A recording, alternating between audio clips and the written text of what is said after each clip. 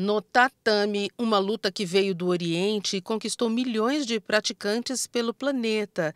O judô é uma arte marcial criada no Japão, 1882.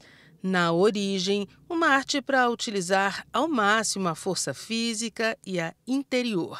Gleison é professor, entende da prática e da história. O judô é um esporte fantástico, né? tanto para criança quanto para adulto. Né? Jigoro Kano, criador do judô, ele teve como princípio a questão educacional. Então o judô é muito respeitado, questão de disciplina, de respeito. E além do lado competitivo, que o, o judô é o esporte olímpico que mais trouxe medalha para o Brasil, contando um total de 24 medalhas olímpicas. Né? Com relação ao, ao judô hoje aqui pela FUTEL, né, ele atende crianças de 6 a 17 anos. E o evento de hoje, né, o objetivo é reunir todos os núcleos. Então, em, na cidade de Uberlândia, o judô é praticado né, através da FUTEL em seis núcleos. E semestralmente a gente faz esse evento onde reúne em torno de 400 praticantes. O esporte conquistou a Lara, de 12 anos. Faz três anos de judô.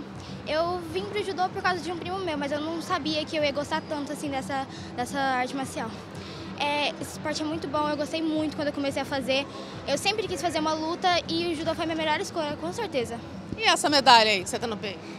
Eu acabei de ganhar essa medalha aqui no festival. Eu ganhei primeiro lugar, foi uma luta muito difícil.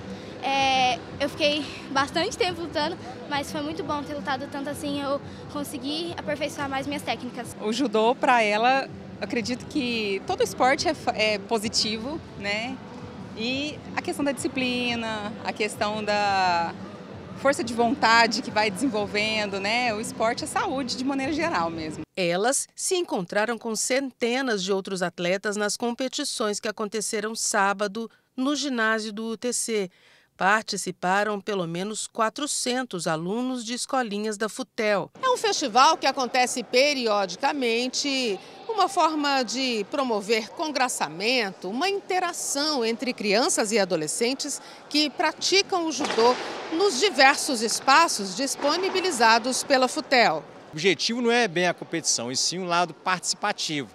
Né? As aulas devem até lá para o dia 15 de dezembro, então deve ter promoções de faixa, mas hoje é o lado mais participativo mesmo. Este ano são 502 alunos do judô 455 na iniciação esportiva e 47 na equipe de competição.